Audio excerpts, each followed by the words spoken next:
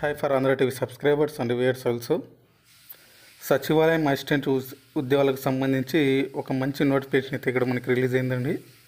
So ఇవన్నీ కూడా మీకు ప్రభుత్వం నుంచి వచ్చే పర్మనెంట్ ఉద్యోగాలకు అయితే మనకి ఇక్కడ క్లియర్గా వారు మెన్షన్ చేయడం కూడా అయితే జరిగింది. ఇక అర్హత అనేది చూసుకుంటే మీకు టెన్త్ ప్లస్ టూ లేదా ట్వెల్త్ అని అయితే ఇక్కడ ఇవ్వడం అయితే జరిగింది.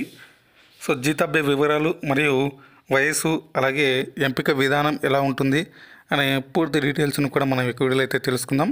సో మీరు వీడియోని ఎక్కడ స్కిప్ చేయకుండా ఎంతవరకు వరకు అయితే చూడండి. అలాగే మన ఛానల్కి ఫస్ట్ టైం విజిట్ అయిన సబ్స్క్రైబర్స్ అయితే మన యొక్క ఛానల్ని సబ్స్క్రైబ్ అని చేసుకొని పక్కనే ఉన్న బెల్ ఐకన్ అయితే యాక్టివేట్లో ఉంచుకోండి. అలాగే మన ఛానల్లో లేటెస్ట్గా చేసిన వీడియోస్ లింక్స్ అన్నింటినీ కింద డిస్క్రిప్షన్ ప్రొవైడ్ చేస్తున్నాం. ఇంకా చూడాలంటే చూసి అప్లై అయితే చేసుకోండి.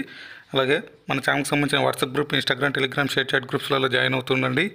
మన వీడియోకి అయితే ఒక చిన్న లైక్ ఇచ్చి మంచి సపోర్టింగ్ అయితే తెలియజేస్తారని ఆశిస్తున్నాను. సో ఇక లేట్ చేయకుండా మనం అయితే టాపిక్లోకి వెళ్దాం. సో ఇక్కడ మనకు చూసుకుంటే ఈ యొక్క నోటిఫికేషన్లో ఈరోజు వచ్చిన యొక్క సచివాలయం సెక్రటరీ నోటిఫికేషన్కి సంబంధించి చూసుకుంటే ఇక్కడ జూనియర్ సెక్రటరీ అసిస్టెంట్ జనరల్ ఉద్యోగాలు ఆరు ఉన్నాయండి ఇక్కడ. అందులో అన్రిజర్వ్డ్కి మూడు అలాగే ఓబీసీ నాన్ క్రిమి లేయర్కి రెండు ఎస్టీకి ఒక పోస్ట్ అయితే ఇక్కడైతే ఇచ్చారు. శాలరీస్ అనేది తీసుకుంటే మీకు లెవెల్ టూ శాలరీస్ అయితే ఎక్కడైతే ఉంటాయి. అంటే పంతొమ్మిది వేల నుంచి మీకు అరవై మూడు వేల వరకు అయితే శాలరీస్ అయితే ఉంటాయి. సో ఇక ఎడ్యుకేషన్ క్వాలిఫికేషన్ చూసుకుంటే ఇక్కడ మీకు టెన్ ప్లస్ టూ అనేది ఇక్కడ క్లియర్గా అయితే ఇవ్వడం అయితే జరిగింది.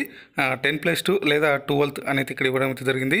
Equivalent and proficiency in computer type speed and in using computer as per the prescribed formers fixed by the DOPT from time to time అనేది ఇచ్చారు. ఇక ఏజ్ విషయానికి వస్తే మీకు అన్రిజర్వ్డ్ వాళ్ళకైతే twenty eight years OBC non creamy layer వాళ్ళకైతే thirty one years ST వాళ్ళకైతే thirty three years వరకు ఉన్న వాళ్ళకి అప్లై చేసుకోవచ్చు. ఇక జాబ్ రిక్రూట్మెంట్ వచ్చేసి selected candidates are required to do all క్లి clerical and typing jobs and other work official works as assigned from time to time by the cum competent authority అనేది ఇక్కడ ఇవ్వడం జరిగింది. ఇక నెక్స్ట్ వన్ చూసుకుంటే మనకి junior stenographer కూడా అయితే ఒక పోస్ట్ అయితే ఉంది. ఇది ఓబీసీ నాన్ క్రిమి లేయర్కి అయితే ఈ యొక్క పోస్ట్ అయితే ఇవ్వడం అయితే జరిగింది. సో లెవెల్ ఫోర్ పే అయితే ఇక్కడ శాలరీ అయితే ఇవ్వడం జరుగుతుంది. ట్వంటీ ట్వంటీ ఫైవ్ థౌసండ్ నుంచి ఎయిటీ వన్ థౌసండ్ వరకు అయితే ఇక్కడ శాలరీస్ అయితే ఉన్నాయి.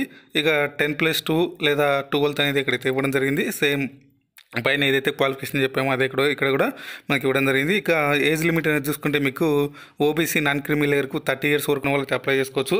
ఇక జాబ్ రిక్రూట్మెంట్స్ చూసుకుంటే మనకి stenograph work and or such other duties as assigned from time to time by the కంపె complaint authority అనేది ఇక్కడ ఇవ్వడం జరిగింది. ఇక out of the seven post six post of junior secretaries assistant general and one post of junior సెన్ stenographer one post is reserved for ex service men for details regarding eligibility please see annexure one అనేది ఇక్కడ ఇవ్వడం జరిగింది.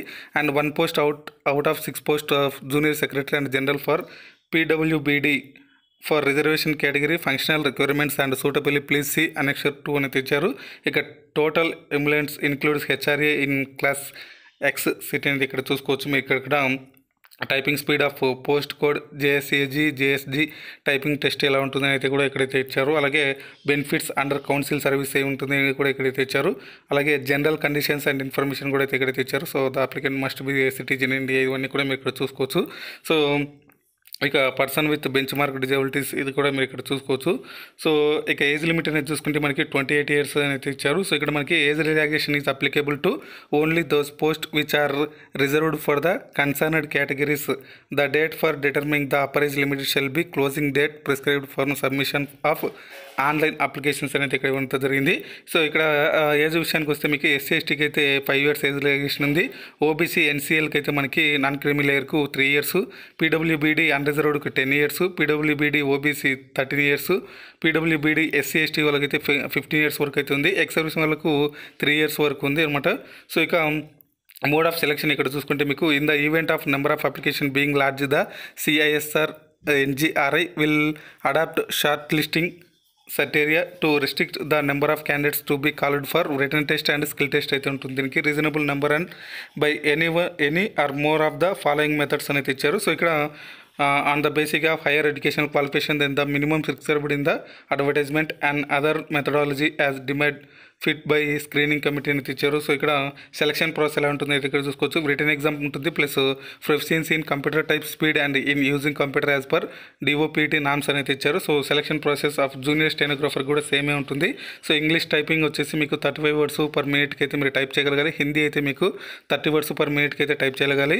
So ఇక ఇక్కడ questions అంటే మీకు exam ఎలా ఉంటుంది అనేది కూడా ఇక్కడైతే ఇచ్చారు సో స్టాండర్డ్ ఎగ్జామ్ వచ్చేసి మనకి twelfth total number of questions two hundred అయితే ఉంటాయి.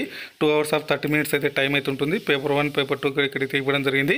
ఇక హౌ టు అప్లై అయితే మనకి దీనికి సంబంధించిన ఇక్కడైతే మీరు ఆన్లైన్లో అయితే అప్లై చేసుకోవాల్సి ఉంటుంది. W W dot NGRI dot org dot ఇన్లో మీరు లాగిన్ అయ్యి ఇక్కడైతే అప్లై అయితే చేసుకోవచ్చు. సో వంద రూపాయలు అయితే మీకు ఫీజు అయితే ఉంటుంది. సో దీనికి సంబంధించి నేను కింద డిస్క్రిప్షన్ ఈ యొక్క లింక్ అయితే ప్రొవైడ్ చేస్తాను. అక్కడైతే మీరు చూసి ఎలా అప్లై చేయాలంటే కూడా ఇక్కడ చూసుకోవచ్చు. Tenth class mark list passing certificate twelfth class mark list passing certificate degree mark list pass certificate PG degree mark list NOC from the present employees sir caste certificate category certificate short list certificate if applicable other if any ఇచ్చారు so any further information regarding this advertisement like date time and written exam అనేది కూడా మీరు ఈ యొక్క W W dot NGRI dot org dot ఇన్లో మీరు login అయ్యి చూసుకోవచ్చు అనేది ఇక్కడ క్లియర్గా చెప్పడం జరిగింది. ఇది మనకి ఈ యొక్క సచివాలయం సెక్రటరీకి సంబంధించి ఉద్యోగులకు సంబంధించిన డీటెయిల్స్ అండి. సో ఇక్కడ మీరు చూసుకొని ఈ యొక్క అప్లై చేసుకొని ఒకసారి ఈ యొక్క నోటిఫికేషన్ అనేది ఫుల్గా మీరు చదువుకొని అప్లై అయితే చేసుకోండి. సో థ్యాంక్స్ ఫర్ వాచింగ్ ఈ వీడియో మీకు నచ్చినట్లయితే లైక్ చేసి మీ ఫ్రెండ్స్ మీ ఫ్యామిలీస్ కూడా షేర్ చేసి ఒక విలువైన సమాచారం వాళ్ళకు కూడా తెలియజేయండి. ఇంకా మన ఛానల్ సబ్స్క్రైబ్ చేసుకొని వాళ్ళంటే సబ్స్క్రైబ్ చేసుకోండి పక్కన బెల్ ఐకన్ యాక్టివేట్లో ఉంచుకోవచ్చు. సో